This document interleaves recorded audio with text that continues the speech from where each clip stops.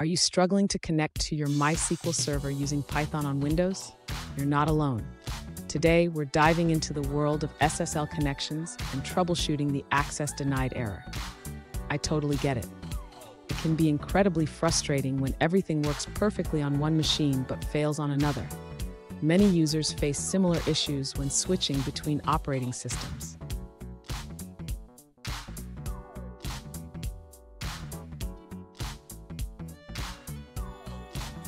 Let's break down the specific question at hand. One user mentioned that they have a MySQL server set up to use SSL and they have the CA certificate.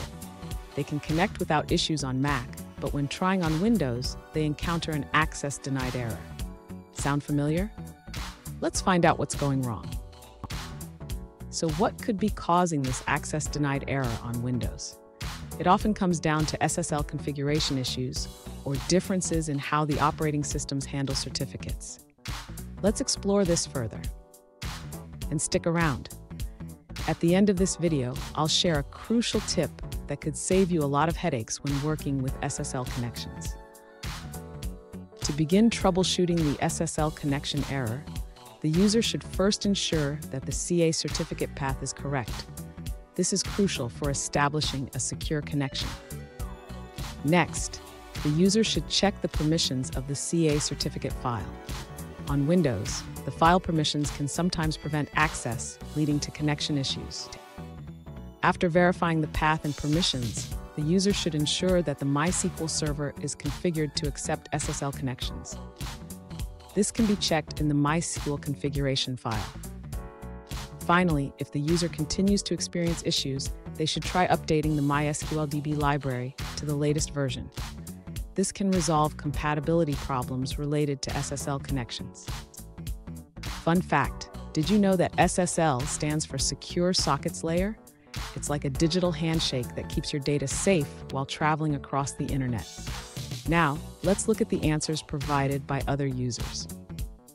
An alternative solution from another user suggests that the connection issue might not be with your code, as they successfully connected using similar parameters. They recommend checking your local CA file or the server's certificate.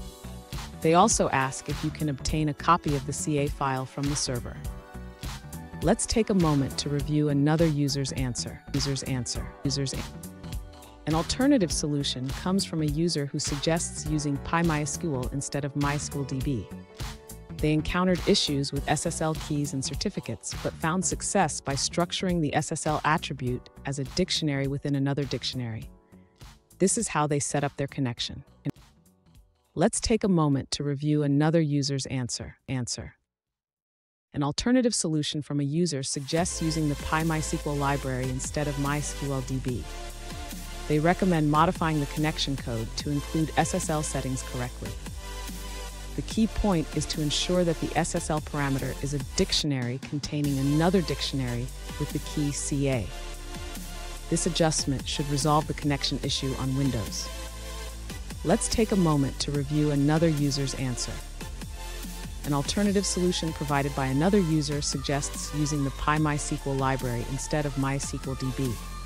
They recommend connecting to the MySQL server with SSL by specifying the path to your PEM file in the SSL parameter. Here's the tip I promised. Always test your SSL connections in a controlled environment before deploying them in production.